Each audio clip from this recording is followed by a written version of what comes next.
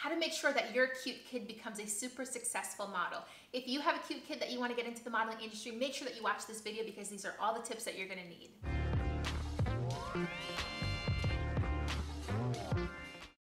Hi there, I am Kamala Kay. I'm an agency signed professional model that does print work and TV commercials. So in this video, I'm going to be sharing tips with you on once your kid gets signed, how do they actually become a successful model? Before we get started though, if you have not watched the previous video I made on pretty much all of the steps to take to try to get your child into modeling, make sure that you do watch that video let's say that your child is now signed to a reputable modeling agency because you did your work to make sure that it's a reputable agency and you're thinking is there anything that i can do to just make sure that my child is booking work that they're going to be set up for success? So since this video is assuming that your child is already signed to an agency and you're like i don't know what to do. Are they going to be booking work? How can i help them book more work it is really important for you to know that just because your child is signed to a modeling agency, that does not mean that they are going to be booking consistent work. And that is for a variety of reasons. Let's face it, your child is super cute, super adorable. Everyone says they have the greatest personality. And that's why a modeling agency actually signed them. But guess what? If the agency already signed another 100 models as well, they were all super cute with super great personalities, hence why they're also signed to the same agency as you are. So therefore, when a client is picking a model, there's no way that they can pick a hundred different talents, right? But also, there are actual phases that your child will go through that's either going to advance the opportunities for booking or lower the opportunities for booking. So for instance, when we see a lot of ads with little babies and toddlers, a lot of times they're at that perfect age where brands use them a lot more often. However, as your child starts to grow and they're in some of those in-between stages, a lot of times they won't be booking as much work in those transition phases.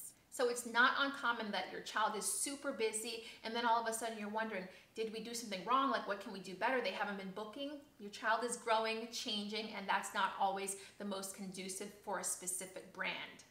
Also something that could be preventing your child from booking work at the time is, for instance, if your child has just lost all of their front teeth. Some brands are okay with that, but a lot of brands would prefer to wait until your child starts to grow back in those teeth in order to book them. It's really a hit or miss based on the client.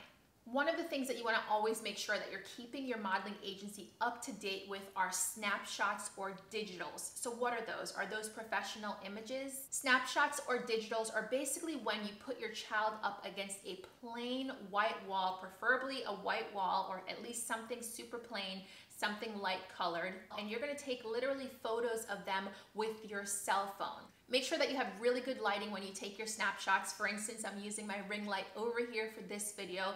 So the lighting needs to be really great. You wanna make sure that your child is pretty loosened up on camera, that they are showing some personality, getting some photos of them smiling.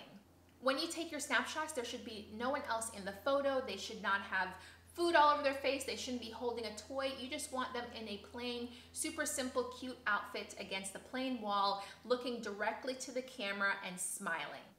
These are the snapshots that allows the agency that you're signed with, or maybe the agency that you're still getting signed with, to be able to see exactly what your child looks like, to see if they are marketable for the specific clients that the agency is currently working with. Update your agency every two months or so with new snapshots, especially if you have a child that's been rapidly growing. That's super important.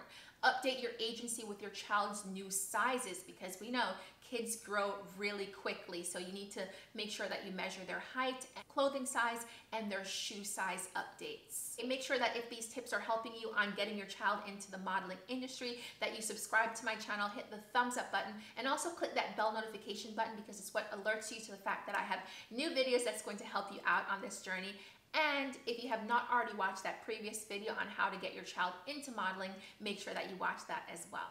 Now, your snapshots and your portfolio pictures are completely different. Your snapshots are taken on your cell phone, something that you can do at home, whereas your portfolio pictures for your child are taken with a professional photographer. The difference is important. Agencies are often going to ask you for the snapshots because they want to see what your child is currently looking like in that exact moment. However, with your portfolio pictures, a lot of times photographers that shoot kids photography, they get booked up super far in advance. So for instance, if you know that you're going to need to update your child's portfolio in about two or three months, go ahead and schedule that shoot now because those top photographers that work with kids are sometimes booked months in advance and you don't want to wait till, oh, three weeks out thinking you're going to be able to get a shoot with a great photographer. Sometimes that doesn't happen. Something else that's going to help you increase your odds of booking work for your child or your child booking work is if an agency suggests a photographer, and obviously we want to make sure this is a reputable agency, not just an agency that's signing everybody and taking your money and maybe getting commission from photographers that they're suggesting you to work with.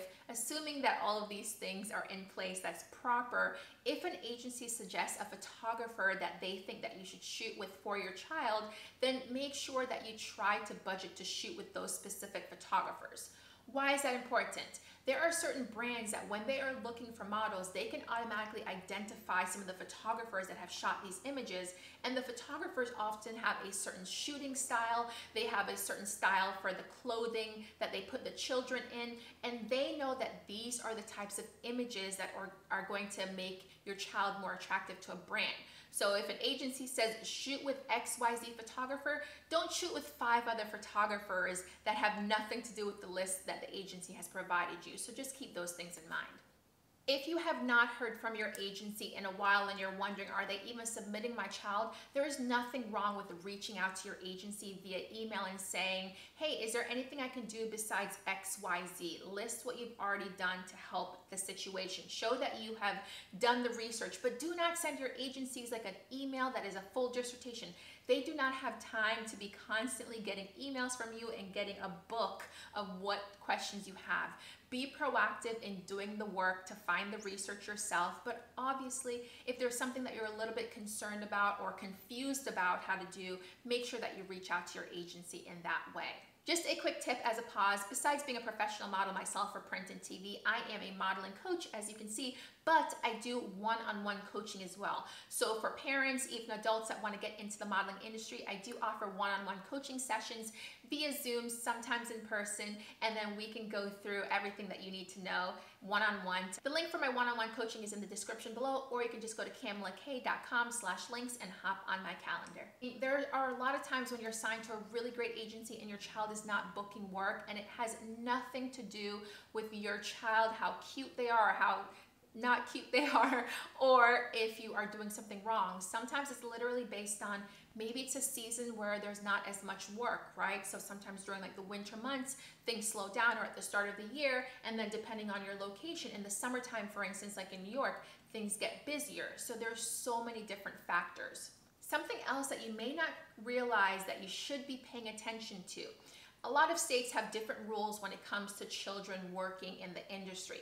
So your child possibly has the work permit and those actually have expiration dates on there. There are plenty of times where agencies want to book your child and then they realize that your work permit has expired. So always keep a note on what are the dates on your work permit. There is so much that I can say about getting your child into child modeling and making sure that they're successful, all of these things, but just make sure that whatever you do, that you are doing this because your child likes this industry. It is not your child's job to make income for the family. Your child should be able to be a child. A lot of times clients can notice these things. So if your child, for instance, is going on set and they're not as personable or the client doesn't feel that energy from them because maybe the child is doing this because it's something you want, that's also another reason why your child is not getting rebooked because the clients have realized that this is something the parent wants more than the child wants. So keep that in mind. All right, that's it for this week's tips on how to get your child into the modeling industry and helping them become more of a success in the journey. Until the next video, make sure that you subscribe and I'll see you in the next one.